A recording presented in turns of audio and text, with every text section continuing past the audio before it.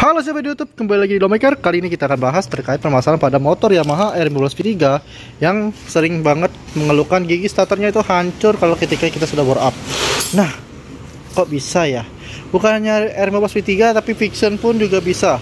Jadi motor-motor Yamaha pun sekarang kebanyakan mulai ya, mulai banyak yang bermasalah kalau misalnya gigi starternya itu rompal atau rusak gitu ya. Nah, jadi kasusnya ada di dua motor ini, gigi starternya dia rusak dan rompal. Nah, jadi di sini BRT mengeluarkan suatu produk yang di mana terbaru yaitu Super Gear Starter. Wow. BRT mengeluarkan Super Gear Starter. Tujuannya apa? Hmm, kita akan review pada video kali ini. Oke? Okay? Penasaran dengan reviewnya? Simak terus video ini sampai habis. Oke? Okay?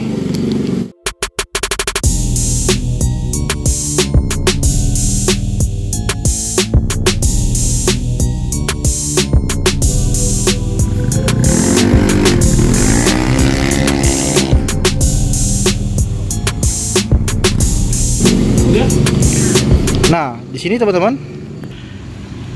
Oke, jadi di sini uh, gigi starternya adalah dari BRT. Di sini belum kita buka ya, masih masih bungkus dan kita akan coba untuk bedelin.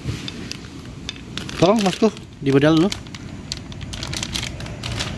Nah, jadi di sini uh, bisa dibilang kata BRT mengklaim bahwa ini adalah solid gear. Solid gear yang di mana bahannya lebih kuat dan bisa minim apa ya minim gesekan gitu ya gesekan. Eh kayak gesekan sih kita. Kita daripada pusing-pusing kita lihat aja dari sini ya. Di sini material lebih kuat. Rasio gear lebih ringan jadi katanya kerja mesinnya lebih ringan. Dan di sini warnanya hitam semacam kayak ada unsur-unsur karbonnya gitu ya. Di sini tulisan NT 155 M-King M-King Vixen Old Vixen New WR155 R15 VVA dan XSR serta MT15 Super Gear BRT kalau dari secara bobot ya biasa lah ya. Lebih, lebih kurang lebih sama aja dengan yang Wanori tapi ternyata di sininya lebih bedanya warnanya aja sih.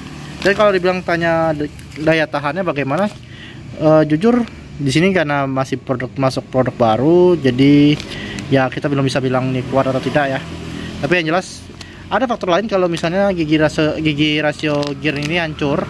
Kenapa karena biasanya pas ketika kita nyeting ecu itu ada gas balik atau tekanan balik ya dari mesin yang bikin mesin ini jadi uh, gigi ini jadi rompal atau rusak.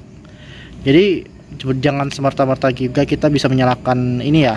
Tapi memang rata-rata semua motor yang sudah bore up di Yamaha ini giginya rentan hancur. Bukan hanya ini aja NMAX pun juga ada kasus hancur. Oke? okay? Jadi di sini kita uh, akan coba untuk memasangkan gear ini di motor ini semoga aja nanti kita akan lihat ya selagi tidak ada video mungkin kita akan cek selama tiga bulan ke depan mas aman atau tidak dengan ball up 180 cc kuat atau tidak atau 200 kuat atau tidak atau 250 bahkan kuat atau tidak kita akan cek super gear dari BRT ini oke okay? Demikian video ini buat, semoga bermanfaat. Jika teman-teman suka silahkan berikan like. Jika ada pertanyaan silahkan tanyakan saya di bawah. Saya The Maker dan dadah. I gave you 10 a week ago. You told me that you got me when your check came home. I've been waiting patiently cause you my homie bro But times is getting hard so I'ma need to see that cheddar though You ain't been picking up, you finding escapes I might have to you out just like you Colgate